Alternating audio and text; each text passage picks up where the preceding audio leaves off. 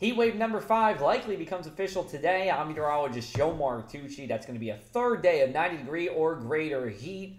Here are some heat safety tips for your day today. Drink plenty of water. Make sure you avoid the direct sunlight between 10 a.m. to 4 p.m.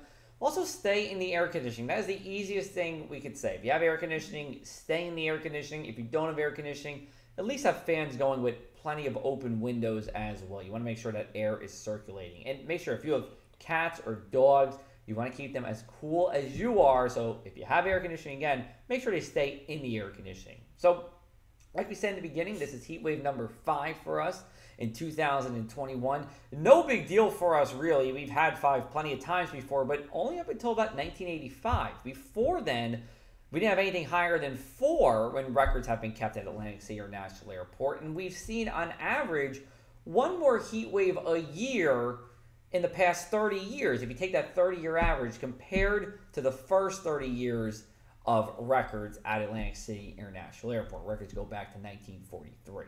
Here's a look at our setup for today. The jet stream, the river of air that separates two air masses, will be to our north. As a result, we have a southerly wind that's coming in from Bahamas and Cuba, all those tropical muggy places there. And we will be talking about some shower chances over the next couple of days. Here is the time that it will be wet. Now, this is an average for everywhere in southeastern New Jersey, so you could be higher, you could be lower. The point is, we are going to be more dry than not, at least for the next four days. But I will say this Saturday, going to be kind of an iffy 50 50 kind of day with us here, where, yeah, you're going to get dry time, but you're going to get wet periods as well. And if you do have outdoor events planned for Saturday and you can move them to Sunday, I would do that. Taking a look at our forecasted radar for our Thursday, nothing during the morning here. It will just be hot and humid.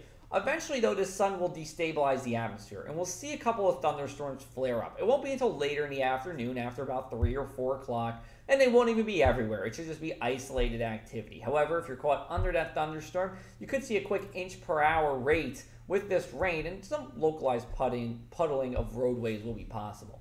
Taking a look at what's going to happen with our Thursday morning forecast. We're rising through the 70s into the 80s here. We have a mostly sunny sky. Going into our Thursday, it is our hottest and humidest day of the week. We're talking about an isolated PM storm inland. High temperatures will be in the low 90s on the mainland, mid 80s at the shore. We do have that shore sea breeze kicking in, so we'll feel nice there. But look at the heat index inland 101 in Estelle Manor, 102 in Hamilton, 104 in Stow Creek. Heat advisory criteria is 105, so we're not going to meet that, but we're going to be darn close. If you do want to go to the shore, A plus day for it here. Water temperatures in the low to mid 70s, low risk for rip currents. And again, that rain should stay away. It should stay inland. So good news for you on Thursday if you do want to head to the islands. Taking a look at our Thursday night numbers, we're sliding through the 80s into the 70s. Overnight lows will be in the low to mid 70s everywhere. Super muggy out though bad hair night, and that'll lead to a bad hair day on Friday, where it will be hot and humid again.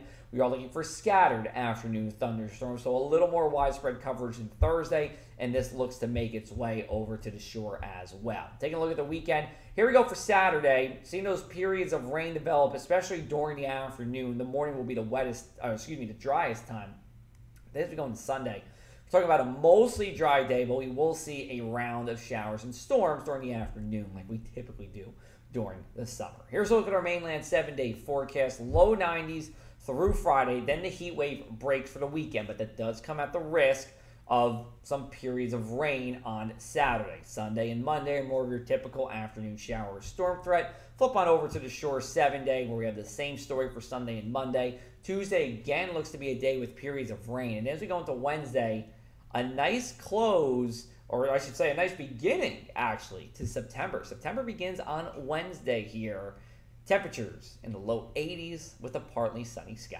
We'll be back with you at 6:30 tonight. We're going to talk to you about the weekend ahead. You can go to our website, pressofac.com slash weather for that. Plus, we have articles, podcasts, and more. You can always follow me on social media Facebook, Instagram, Twitter, and TikTok.